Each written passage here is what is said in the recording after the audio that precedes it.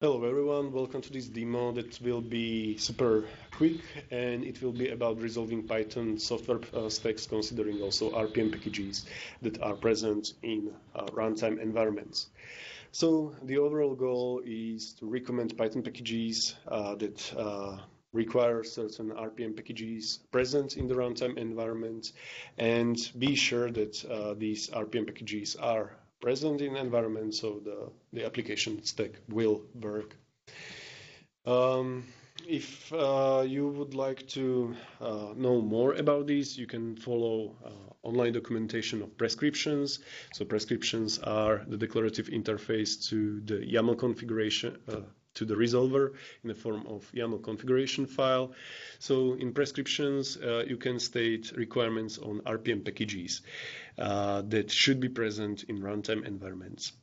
These uh, RPM packages can be specified based on full package identifier. So, for example, uh, GCC, C++, blah, blah, blah. Uh, it's uh, quite verbose. Then you can specify also just package name, epoch, uh, package version, release, architecture, and uh, a flag stating whether the given package is source distribution.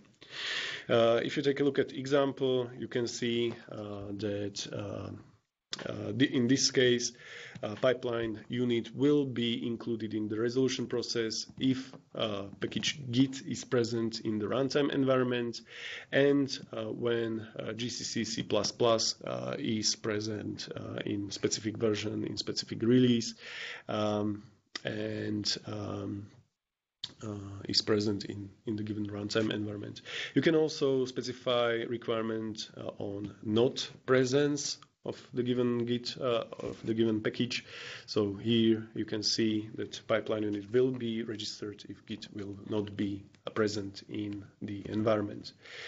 Uh, now let's take a look at uh, example. So uh, let's go to prescriptions, and uh, an artificial example that demonstrates this use. So here uh, we have a pipeline unit that is called test boot. It's of type boot.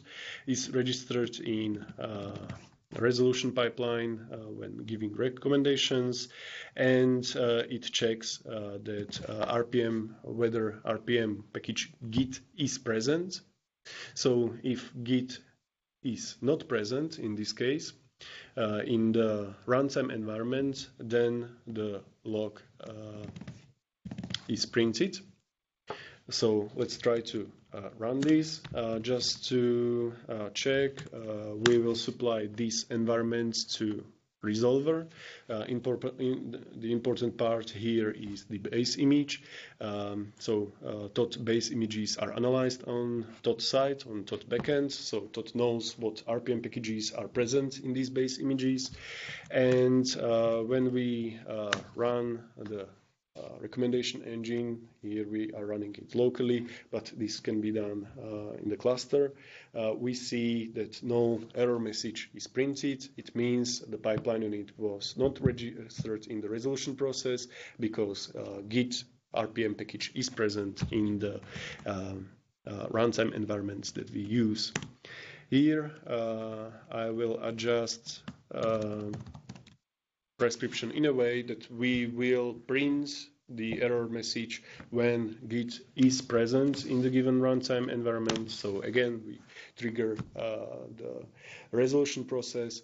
And as you can see, uh, there is printed uh, an error message that states uh, our message. And it means that uh, the pipeline unit was registered in the resolution process and uh, printed the message as prescribed in prescriptions. Uh, this was a rather uh, artificial example. If you want to take a look at real world example, you can do so.